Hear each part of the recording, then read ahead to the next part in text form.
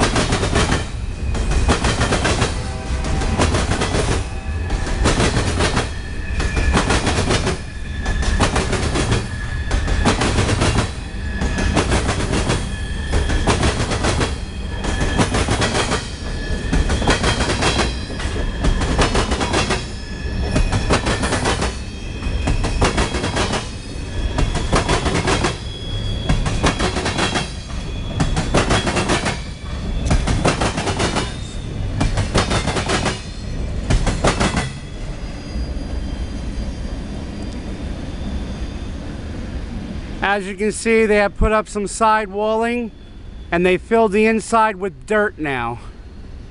This has been done over the past seven days. They're coming along pretty good. I would assume now that they're going to concrete the top and that'll be the top platform of the first floor where you'll be standing when this is completed.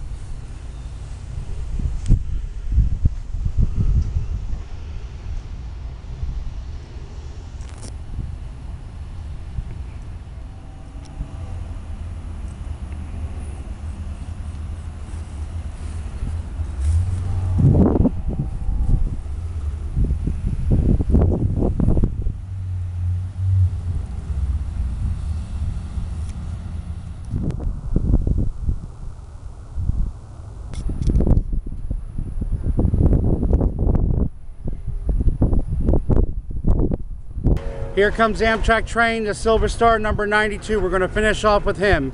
And for what, I'm, what I hear, he's going to have the Heritage unit on the front. Let's see. Goodbye, everybody, from Plant City, Florida.